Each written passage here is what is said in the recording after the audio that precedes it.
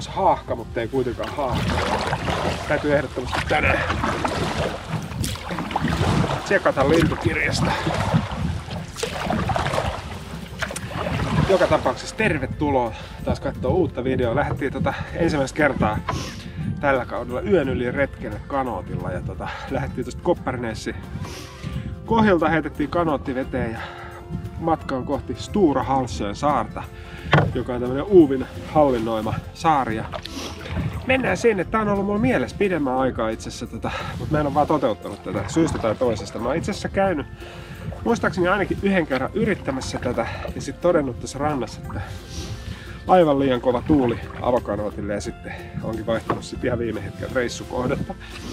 Mutta nyt on mitä otollisin keri tässä pääsiäisenä. Ei tuule juuri ollenkaan, ihan pieni tuulenvire ja lämpötila huitelee 90 asteen tienoilla ja mulla on tuo pipokin, mutta tota, päätin heti alkuun, että on kyllä niin lämmin, että en, ei tarvitse pipoa eikä edes takkiä, mulla on pelkkä kuivapuku yläosa tässä ja tota, tälleen. Tervetuloa messiin ja pistähän tosta kanavakin tilaukseen, jos et ole vielä sitä laittaa.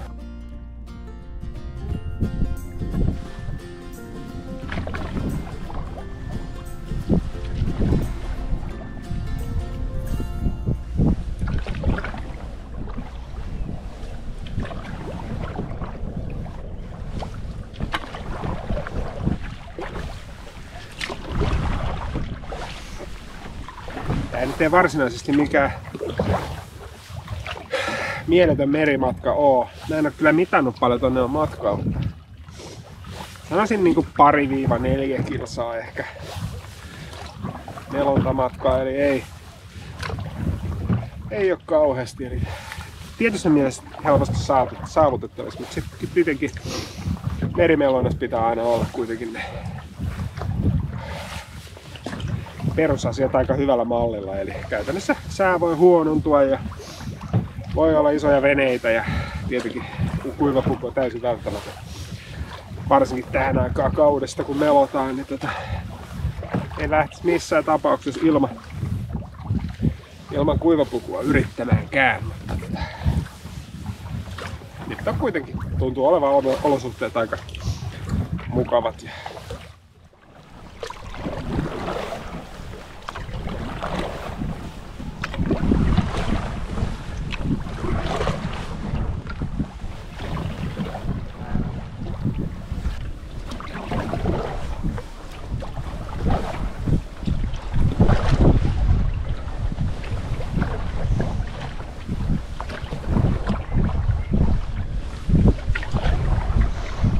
elättelen toiveita, että saisi olla tuolla tota, silleen, kuitenkin erämaan rauhaa rakastavana ihmisenä. En mä ole mikään ihmisvihaaja, mutta tota, mä aina mieluummin ota saaren niin omaa käyttöön, kun jaan sen kaikkien muiden kanssa. Tietenkin, sit jos on porukkaa, niin käyttäydytään tietenkin. Siellä on sauna. Mutta mä en tiedä, että onko se sauna käytössä tätä, tälleen niin sanotusti talvisin tota, se jää nähtäväksi, että onko siellä ovet auki, onko siellä polttopuita ja tolleen. Se on periaatteessa tätä, tää on se syy, miksi mä oikeastaan tulin tänne. Mä haluan saunaa.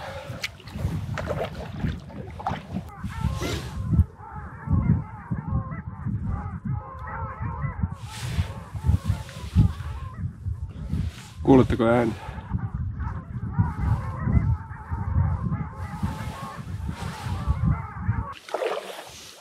Siinä oli muitakin. Juttelin äsken tota yhden avokanoottimelojan kanssa ja tota, ovat olleet ja täällä jo yhden yön ja meinaavat olla toisen perään ja kuulemma sauna on käytössä eli käydään raapustaa nimi sinne varauskirjaan tässä.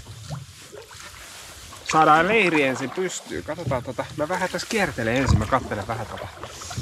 Houkuttelis nimittäin tossa tommoset kalliot ja jos laittaisi tänne kalliolle. Kalliolle leirin pystyy, jos tästä löytyisi hyvä rantautumispaikka. Niin.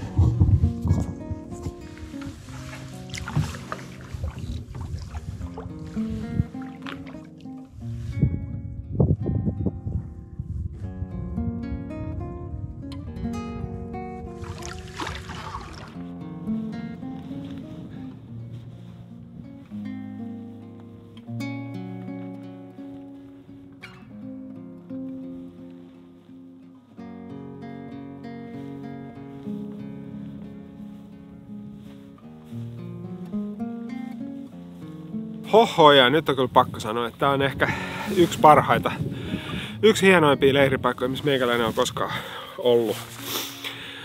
Tota, se on pakko sanoa, että tietenkin tää sääkin vaikuttaa siihen fiilikseen, että tässä tota, pieni tuulenvirre käy ja aurinko paistaa suhteellisen lämmin, niin tota, mikäs tässä ollessa ja leiri pystyttäessä. Ja tosiaan homma menee nyt sillä tavalla, että laitetaan ensin leiri pystyy tähän kalliolle ja mulla on riippumatta mukana. Se oli sille ihan tarkoituskin, koska mä tiesin, että tai vähän suunnittelinkin etukäteen, että halusin johonkin kallion päälle ja sitten näin poispäin. Niin tota, semmonen tällä kertaa. Laitetaan leiri pystyy, vaihdetaan vähän vaatteita, sitten käydään tutustua tota, vähän tähän pikaisesti, että miten tuo saunahomma toimii ja laitetaan vähän lounasta ja tälleen, mutta onpa kiva fiilis olla taas pitkästä aikaa tätä silleen kunnon retkellä. Joku kuitenkin kysyy, niin tämä riippari on Amokin Droumri, mutta ei siitä sen enempää tällä videolla. Mä puhun tästä enemmän, kun mä oon saanut vähän kokemuksia, mutta ideana tässä on se, että tässä ollaan poikittain, eli näköala näkyy suoraan edessä. Sitten saa myös tällaisen tuolimoodiin, mutta palataan näihin asioihin vielä myöhemmin.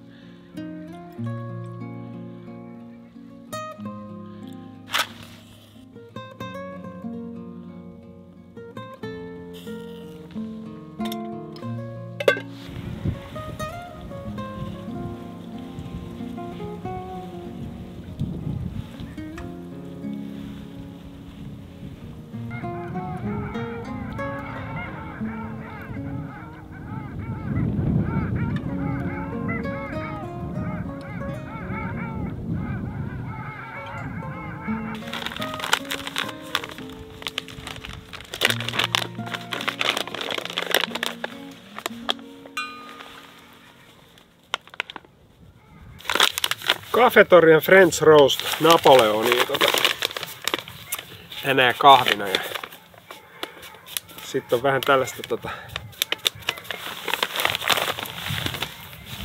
kuiva ruokaa vaan nyt lounaaksi. Kyllä se tästä. Ei ole kyllä mikään maailman nopein keitin, mutta tota, mikä, mihinkäs tässä on kiire. Voin kiitos, mä otin korvatulpat mukaan.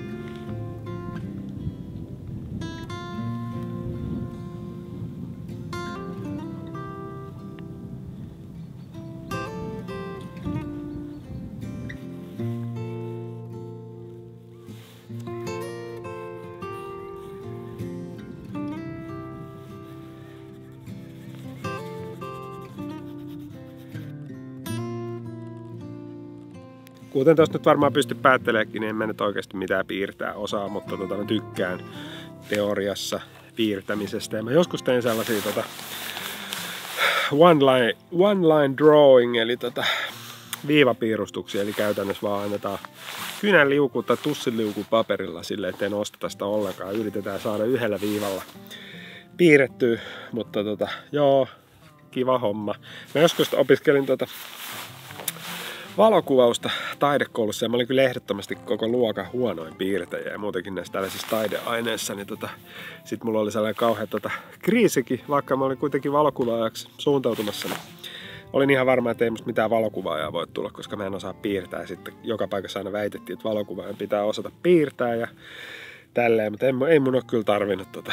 Tai silleen, että jos tekee jotain tällaisia kuva, skissejä, kuvasuunnitelmia tai tollasia, niin ihan tämmönen tikkuukko-homma riittää kyllä, voi lohduttaa, jos oot joskus ajatellut samaa. Niin tota, kyllä mä oon itteni elättänyt valokuvaajana ihan tällä, näillä piirustustaidoilla, mutta semmonen henkilö kuin Bill Mason, joka on tota monelle avokanoottimelojalle tuttu, ihan legendaarinen tota, kanadalainen avokanoottimeloja ja tuolta tota, löytyy tuolta Kanadan tota, National Film Board of Canada, eli tota, kansallisesta tällaisesta niin filmi arkistosta, joka on nettisivuilla, niin tota, mä laitan vaikka videokuvauksen sen, niin tota, siellä on näitä Bill Masonin leffoja, hän oli myös niin elokuva, elokuvan tekijä ja sitten myöskin taidemaalari, niin se oli kyllä hienon näköistä, kun se aina maalasi tuolla öljyväreillä aina leiripaikalla yleensä tota, aina semmoisen maisemakuvan.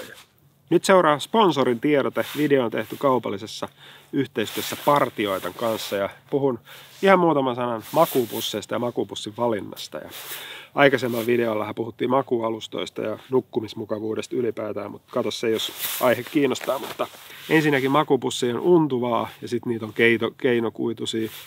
Untuvan hyviä puolia on se, että se lämmittää, eristää vähän paremmin, mutta se tekee ainoastaan sen kuivana, eli sitä ei saisi päästä kastumaan, koska sitten se menee länään ja ei ole silleen kuohkeeta ja se ei enää lämmitä yhtä paljon. Mutta sitten taas toisaalta untuva pakkautuu pienempää tilaa, vie vähemmän tilaa repusta, huh, keinokuituja.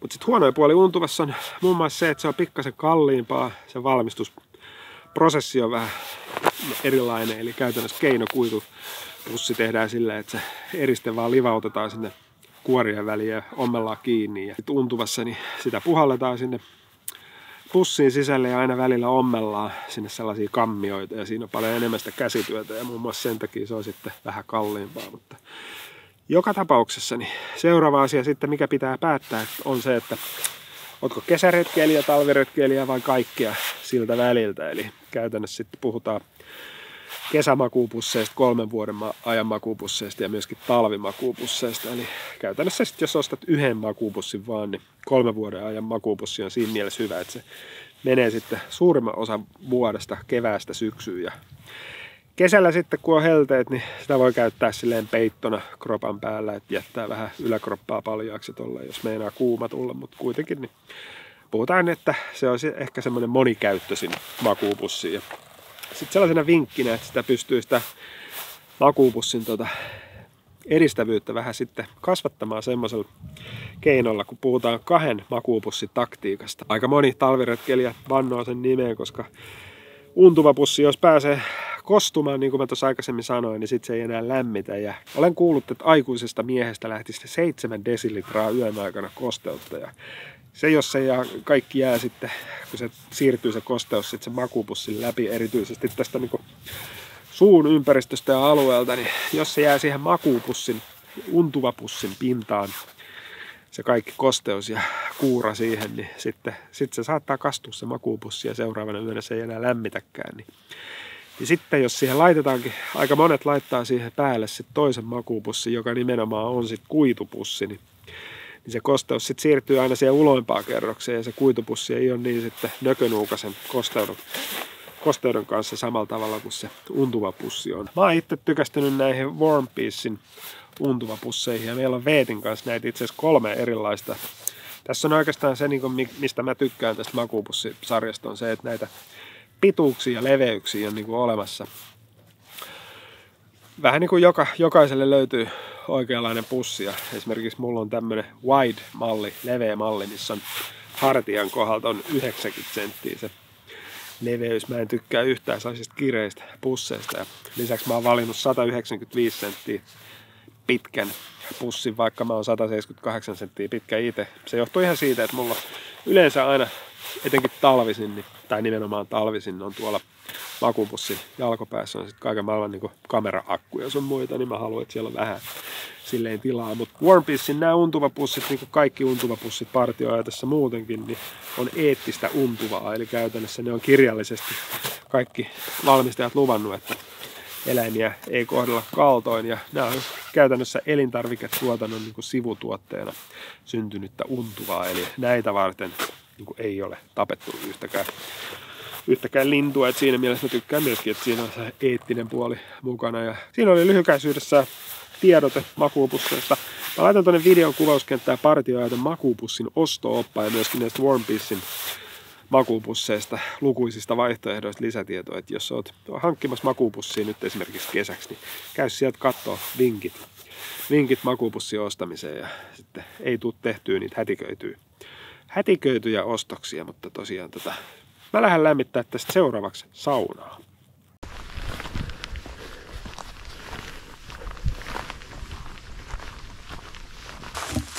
Mistä sitä vettä otetaan, koska merivettä tonne ei tietenkään saattanut kiukaaseen pistää. Onkohan se tätä sadevettä sitten? Koska tässä on nimittäin tota selvästi ollut vesipumppu. Ja sitten sanotaan, että vettä ei ole testattu, että ainoastaan saunomiseen. Täytyy käydä, jos tuolla on tota letku johdattaa kaivolle, niin käydään tietysti katsoa, jos sieltä saa käsipelillä vettä, mutta vettä ei saada kaivosta. Eli käytännössä siinä oli onneksi tynnäri täynnä sadevettä, niin tota, sillä saadaan retkilöylyt kyllä heitettyä ja tota, ei ole sen kummemmin tietenkään, tota, kun ollaan retkellä, niin tarvi sillä lailla lutrailla niin kauheasti. Niin tota. Mut joo,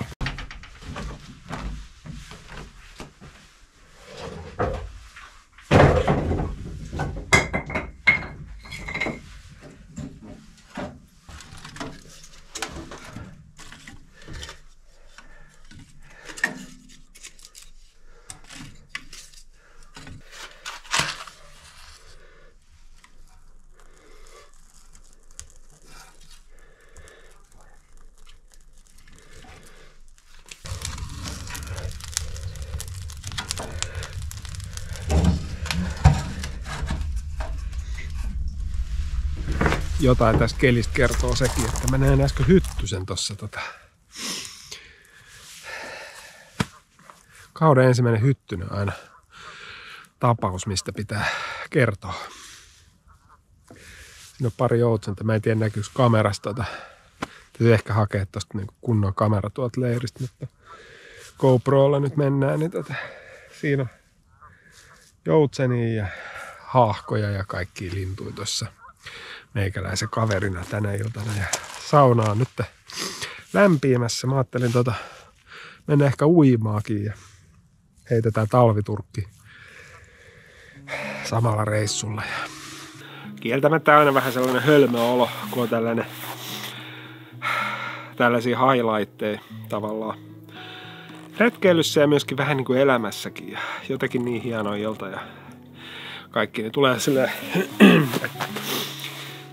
että voisi tämänkin ajan viettää jonkun toisen ihmisen kanssa ja jakaa tämän kokemuksen, koska sitten kun sä oot yksin, niin vaikka tästä kuinka nauttii, niin sitten kuitenkin loppujen lopuksi tästä tulee sitten vaan niin kuin muisto tai sitten tavallaan tarina, minkä sä kerrot sitten jollekin toiselle ihmiselle. Ja se ei kuitenkaan sitten kerrottuna ole mitään tälleen videonakaan välttämättä saa sitä kuvaa, minkälainen tämä hetki ja tämä ilta on ollut, mutta sitten toisen ihmisen kanssa, niin siitä tulee yhteinen kokemus, joka sitten on jollain tavalla sille vahvempi, vahvempi asia. Mutta tota, enpä nyt valita, mutta tota, olisipa kiva, kun olisi joku, joku tässä kaverina. Mutta tota, mutta mulla on kyllä kieltämättä tulos Veetin kanssa tota, sille aika kivoja reissuja suunniteltu, että et kyllä niitä yhdessä koettuja hetkiäkin tulee, mutta jos laitoin Veitille täältä paljon kuvia, että tota, tullaan tänne kahdestaan joskus tässä, niin, tota, niin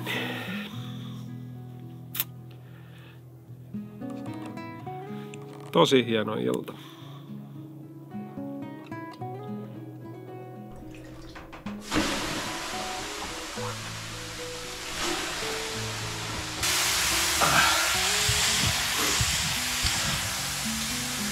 Kylläpä tuntuu hyvältä.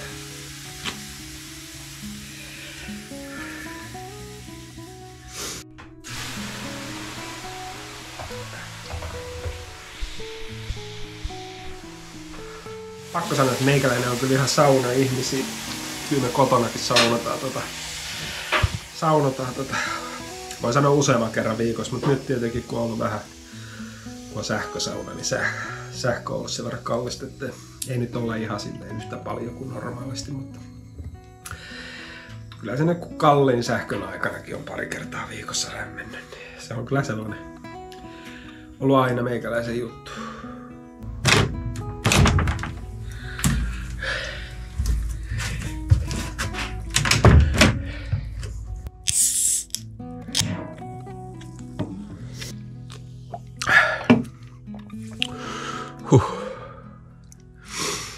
Kylläpä tuntuu hyvältä. Kello tulee puoli kahdeksan ja aurinko ihan uskomattoman korkeallakin vie. Kyllä se on vaan kesä nyt. No ei se ihan vielä ole, mutta se on tulossa. Just joku laittaa tota Instagramissa kuvan Kokkolasta, että siellä on vielä pilkkiä tota jäällä ja vähän eri meininki kuin täällä. Ei ole mittaria, mutta sanoisin, että enemmän kuin kymmenen. Tai ainakin tuntuu siltä, että olisi niin kuin... Mutta tässä kun tota saunan jälkeen istuskelee ja tälleen, niin tuntuu kesältä, kylmältä kesältä.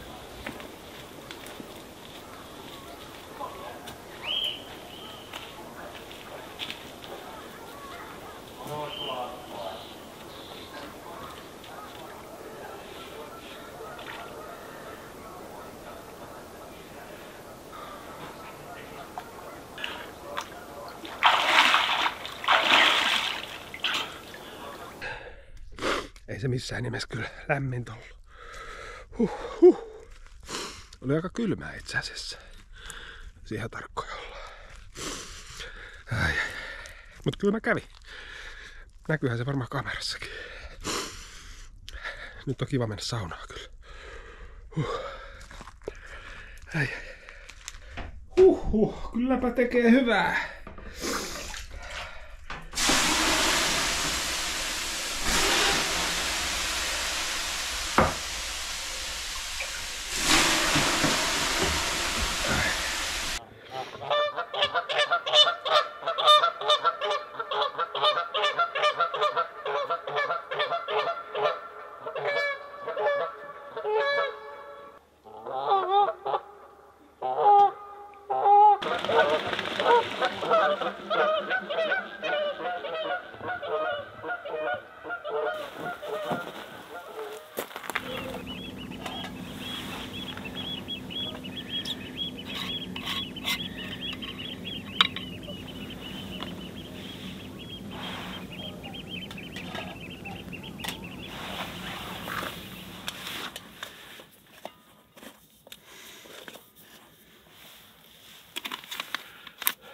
Aurinko laskee ja täysi peilityyni ilta.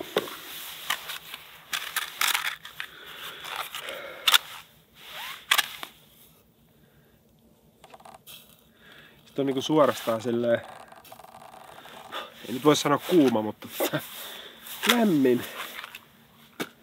Lämmin ilta. Ja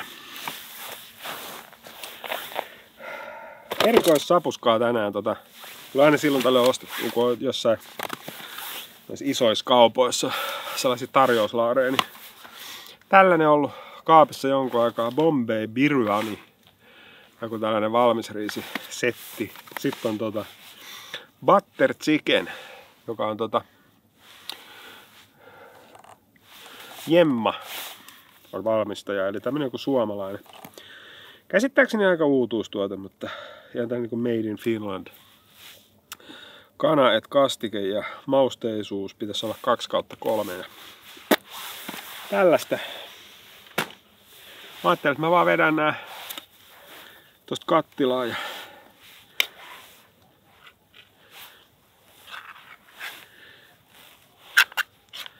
melomisessa on se hyvä puoli, että tota, eväät voi olla ei tarvi olla mitään kevyt ruokaa välttämättä. Säilykkeitä voi tota niin, kuljettaa kanootissa helposti.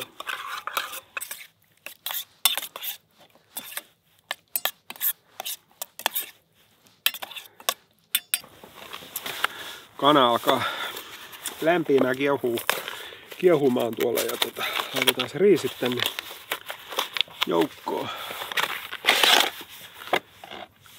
Tässä oli joku juttu, että kun tää on joku tämmönen ihme folio paketti, että tää niin lämmitetään tuota jossain vesihauteessa tai jotain, mutta jätän kyllä väliin sen homman ja isken vaan riisit tänne kylmästi tota sekaan. Siellä meni joku haikara, en nähnyt tota, en kerin ottaa kiikareita, mutta joku haikara lensi tosta.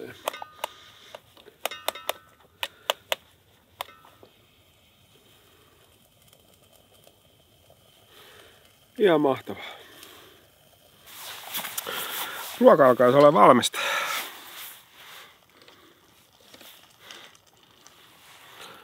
Musta tää on ihan hyvän näköistä. Maistetaan.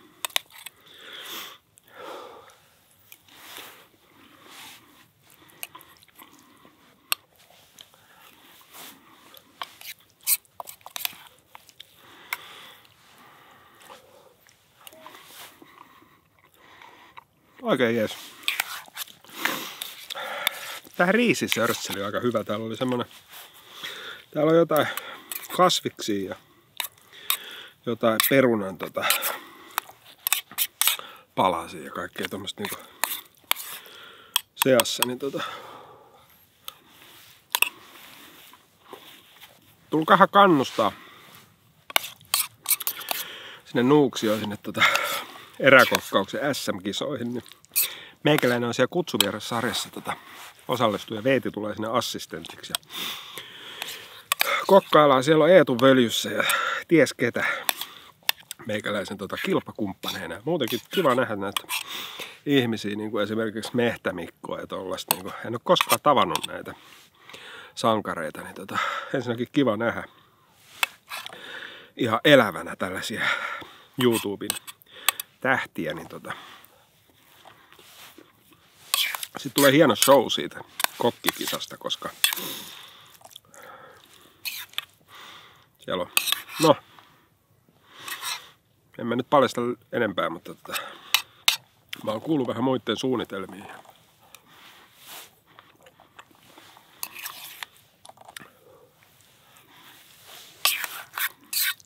Eikä ne omatkaan suunnitelmat mitään huonoja ole. Yksi asia ehkä yleisimpiä kysymyksiä, mitä tulee aina videoilla tai ehkä jopa sille kritiikkejä, että ei näytetä kuin niitä hienoja hetkiä. Kattelen tässä samalla joutsenia, jotka tuolla liitää tota, huhhuh, miten hienon näköistä.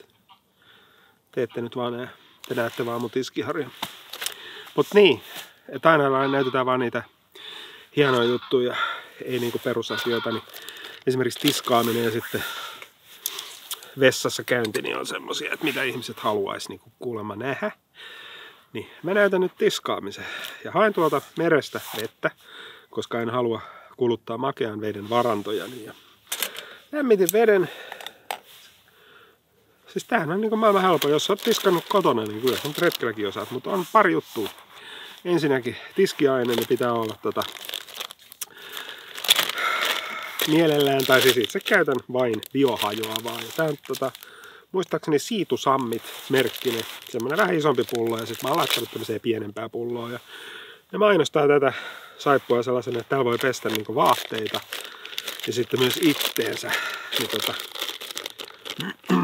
niin, niin tämmönen. Sitten mennään tota, ei missään tapauksessa rantaan, vaan tota, sanoisin 10-20 tai jotain metrin päähän mennään rannasta. Testään tää tota, tai tiskaan tässä nyt istualtani tässä missä olen ja tota, tietenkin pannut kannattaa lautaset syödä niin tavallaan tyhjäksi asti kuin mahdollista. Eli että täällä olisi mahdollisimman vähän kökkärettä, niin tota helpompi tiskata. Sitten vaan otetaan harja ja mä nimenomaan otan harjan. Semmonenkin on tota, jotkut käyttää sellaista sientä, semmoista pientä sientä, mutta peseekö joku hampaat tämmöisellä sienellä? Etteikö aika monet pesee hampaat niin kuin harjalla, hammasharjalla? Ja teekö semmoisen lähden niin kuin hampaatkin puhtaaksi paremmin. niin musta tällä harjalla lähtee tota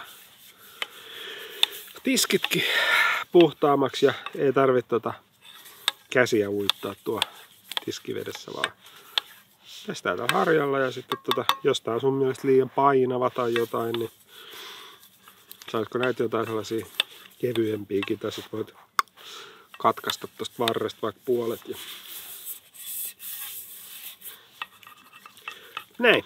Sitten kun se on puhas, niin tota, mä käyn heittää tonne kauas kauas vesistöistä tota, nämä tota, niin pesuaineet tästä ja palaa hetken kuluttua ja jatketaan.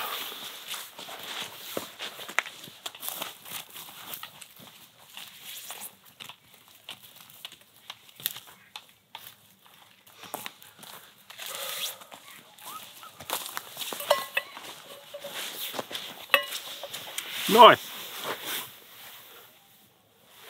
Sitten huuhteluvesi.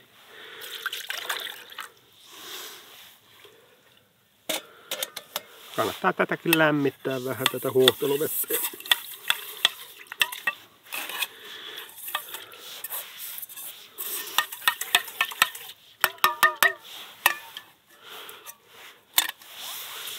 Mä tiedän, että moni ajattelee sitä, että eihän tarvi välttämättä käyttää pesuainetta ollenkaan ja itsekään en välttämättä käytä.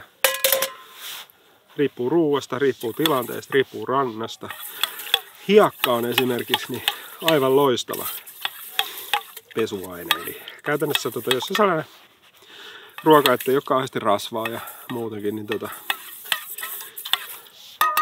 helposti irtoavaa liikaa, niin se riittää oikeasti, että sä meet rantaa, otat sieltä tota hiekkaa tänne tota, ja vettä ja sitten pyöräytät se vaikka ihan kädellä tai sitten käyt ottaa tuolta tupon tota, ruohoa tai jotain sellaista ja pyörität se hiekan siellä oikein kunnolla ja sitten käyt heittää sinne jonnekin metsän puolelle ne kauas rannasta, koska aika moni sanoo, että kalat syö, niin kuin sitten ne ruoan jäämät, niin ei syö. Kalat ei syö makaronia, ei syö makkaraperunoita, eikä tota realturmaattiikaan ei syö. Ja sit se on ihan, ihan jäätävää mennä leiripaikalle johonkin rantaan, jos edellinen ihminen on jättänyt kaikki kaurapuudot ja kaikki sinne, kun haluaisi mennä vaikka uimaan tai muuta, niin tota, ei niin, vaan nimenomaan metsän puolelle kaikki ruoan tähteet. Mutta näin, näin tuli puhasta ja tota, ei ole sen kummempi asia. Aika hauska, mä en tiedä näkyykö kuvis vielä, mutta siellä on tulossa tota kaksi kajakkia tänne päin. Varmaan ihan mahtava melo tällaiseen tota kelloaikaa. Auringonlaskun aikaan. Olisikohan ne tänne tulossa tota yöksi vielä?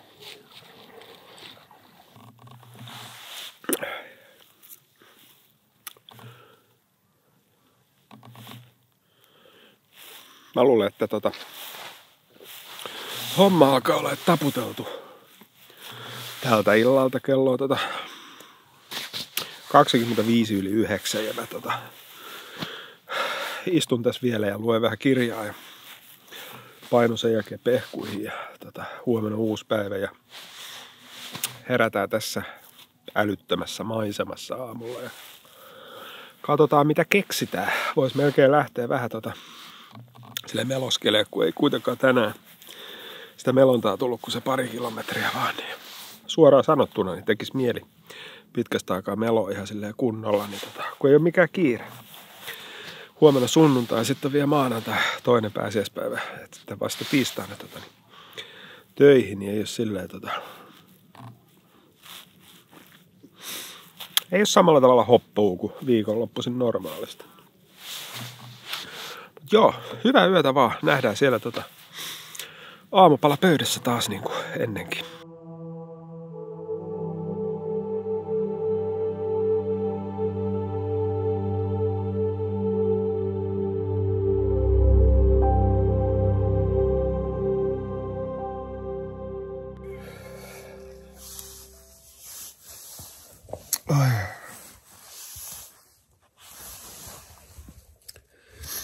Huomenta vaan.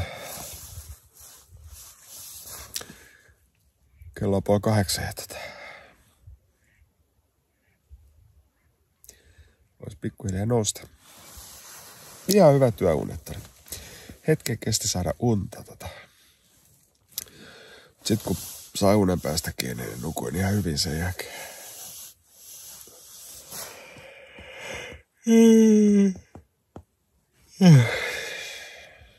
Tässä se muuten nyt aika hyvin huomaa taas kosteuden aamulla. En, en kuitenkaan tota mitenkään hikoilu eikä muuta. Eli tota, niin se vaan se kosteus pääsee tästä makupussin läpi ja tota niin, ei tää märkää ole, mutta pikkasen kostea. Tota, on tosi tärkeää aina etenkin pidemmillä reissuilla niin tota, laittaa makupussi aina kuivumaan johonkin tota, esimerkiksi teltan päälle tai jonnekin oksalle, tota, että se on sitten seuraavana yönä tota, mukavan kuiva. Aika semmonen chilli aamu kyllä tota.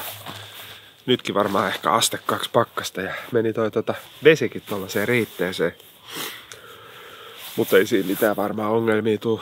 Kyllä se alkaa toi aurinko kun lämmittää, niin se alkaa siitä saman tien varmaan sulaa. Mutta on koko toi Lahden pohjukka tässä tota venesatama, niin se on jäässä periaatteessa, mutta tai tolleen riitettä, pintajäätä, niin tota, samoin tuohon suuntaan, mihin lähden sitten melomaan, niin tota, mutta ei se, kyllä se siitä sulaa, mutta nyt ruvetaan kahvin keittoa, alkaa olla tota, tekemään mieli kahvia ja vähän lämmitellä käsiä tuosta rangia tota, ympärille ja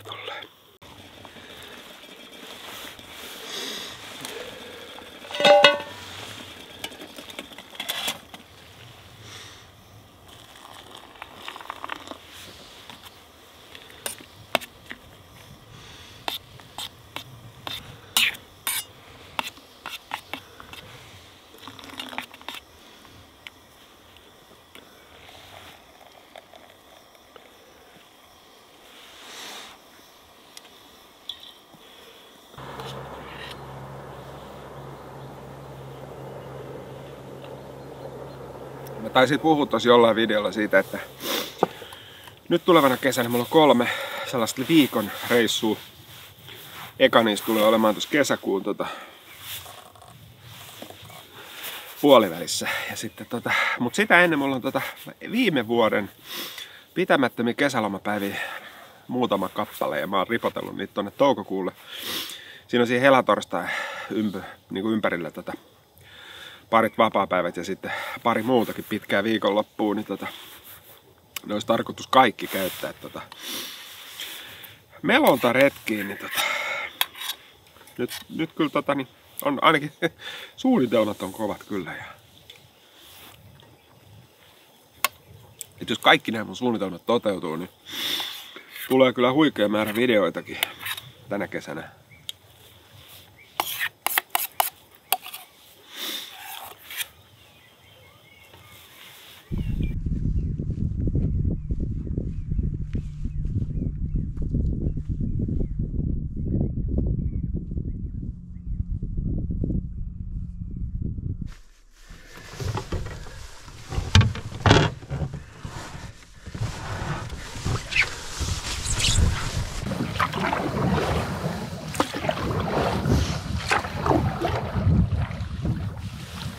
Vähän mietin, että jos kiertäisi tämän saaren tässä lämpimikseen, koska ei tullut eilen niin hirveästi melokkoa.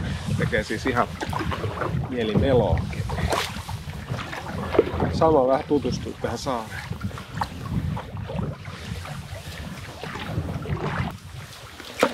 En muista puhuinko mä siitä tota, eilen illalla, että myöhään illalla tota, kaksi backcraftiin tuli tuohon aika lähelle, missä meikäläinen oli yötä, niin tota, niillä on tossa leiri, niin tota, täytyy sanoa, että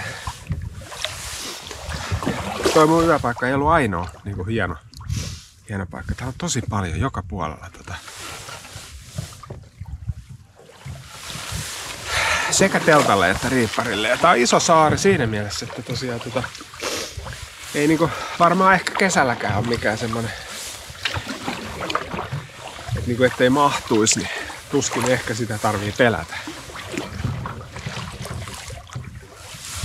Et kyllä mä tässä niinku silmä, sillä silmällä nyt melon, että vähän kattelen tota. Tännehän täytyy tulla uudestaan.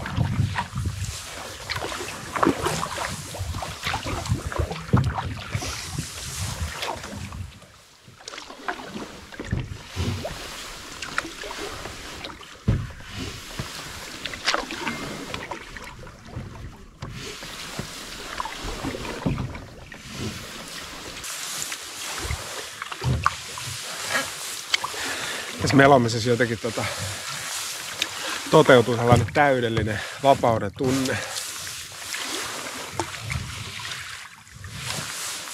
Kontrolli kaikkea, vaikka tavallaan ei se ehkä niin ole tässä.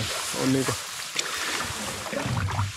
esimerkiksi säiden puolesta vähän vähemmän kontrollia kuin sitten jalkaisen liikkujalla, joka voi mennä vaikka puiden suojaan tai jonnekin tota, mutta, mutta silti näkee asioita aivan eri perspektiivistä. Ja sit voi tosiaan, tota, jos rakastaa tämmöistä yksinoloa ja rauhoittumista, niin tota, tää on, tää on kyllä sille terapeuttisinta toimintaa, mitä, mitä mä tiedän. Täydellistä rauhoittumista ja tota, kyllä sen tuntee ilman mittariikin, että verenpaine laskee ja se on uskomaton fiilis. Sitten tosiaan tota, vähän pidemmänkin reissun jälkeen se kotiin paluukin, että kamat on autossa ja sitten pääset ehkä suihkuun jonnekin. Ihan sellainen niin kuin olo, että on niin kuin virkistynyt maksimaalisen määrän, että ei niin kuin enää mahdu ihmiseen enempää virkistäytymistä sellainen sen olo. Melojat tietää, retkimelojat, mistä mä puhun. Tietenkin en mä väitä, että olisi niin maailman ainoa asia, joka sellaisia tunteita ihmisille tätä aiheuttaa. Totta kai joku purjehdus ja kaikki tällainen tekee varmaan maasta pyöräily ja tälleen. Sama juttu varmaan.